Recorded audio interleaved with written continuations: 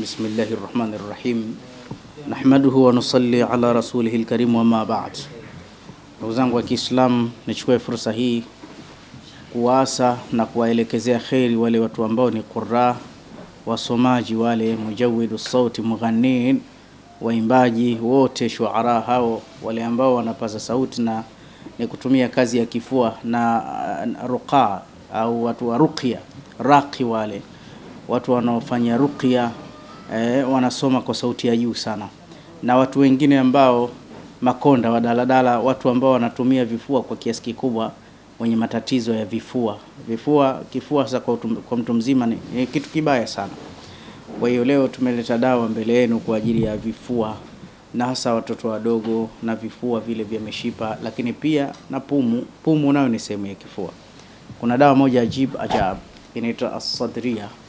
Hii ukiila inafungua khaishumi, ile mionzi ya pua inapanda mpaka kichwani.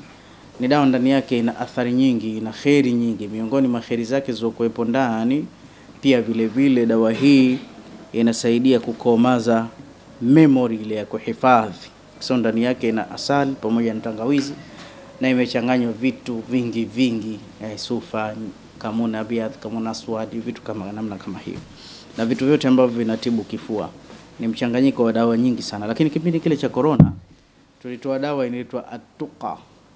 Dawa hii ni nzuri sana kwa maradhi ya mlipuko au vile vifua visivyosikia dawa. Hii pia nayo atuka ikienda sambamba na hivi kwenye matatizo haya ya kukoa koa, kubana mbavu, inshallah kheri, Mwenyezi Mungu. Nafikiri tumeziona dawa hizi mbili, lakini msimamo wetu ni ule ule, zote zina tashbihi ya sunna, zote zina athar ndani ya Qur'an, ndani ya ahadith, ndani ya maneno ya wanawachuoni na Mtume sallallahu alaihi wasallam ndo ametupa leseni kutuambia tadau ya ibadallah au tadau ya ibadallah tufanyianeni tiba. Kwa hiyo sisi tumesimama kuitekeleza hadithi hii ya Mtume sallallahu alaihi wasallam, kwa sababu tumetekeleza maagizo yake, basi bila shaka mkono au mguu unaotoka Mtume kauombea dua, na hizi zitakuwa zenye ufanisi mkubwa kabisa kabisa, na ni hazina kwetu sisi kama Waislamu. Chukua mawasiliano haya, tuwasiliane insha Allah. Popote ulipo, tupo, tutakupigia simu, utatupigia simu au utakuja kuchukua mwenyewe. Sisi tuko Dar es Salaam Tanzania, Buguruni tu hapa, lakini ukiwa wapi wapi wapi, tunaweza tukakuletea. Almuhimu mawasiliano, na kitu cha kusisitiza, kitaka kufanya muamala wako, ili jina Athman Maiko Kupaza litokee. Athman Maiko Kupaza, hasa kama unatumia Western Union au Ria au MoneyGram, lakini kama unatumia miamala hii ya simu huwa wanatoa jina la ukoo, utasikia Athmani Kupaza, Athmani Kupaza, Athmani Kupaza.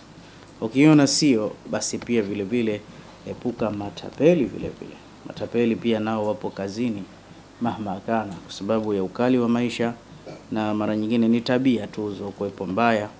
Kwa Mwenyezi Mungu Subhanahu wa Ta'ala atusaidie wote, atuongoze.